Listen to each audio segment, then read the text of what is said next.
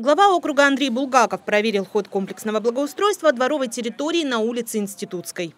Работы во дворе дома номер 30 планируется завершить до 10 сентября. Остаются последние штрихи. Необходимо установить тренажеры и стол для настольного тенниса, уложить резиновое покрытие на площадке. В ходе благоустройства были отремонтированы тротуары и проезды, появились дополнительные парковочные места, установлены новые фонари уличного освещения, оборудованы тихие зоны с лавочками для комфортного времяпрепровождения старшего поколения на свежем воздухе. Появилась детская площадка.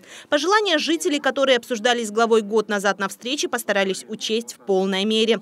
Уже после проведенных работ возник ряд дополнительных просьб, таких как восстановить перекрытие проезда во дворе. Также жильцы дома обратили внимание руководителя муниципалитета на некоторые вопросы работы управляющей компании. Андрей Булгаков проверил качество уборки подъезда номер два. Сильных нареканий не возникло, однако контроль за уборкой было решено усилить.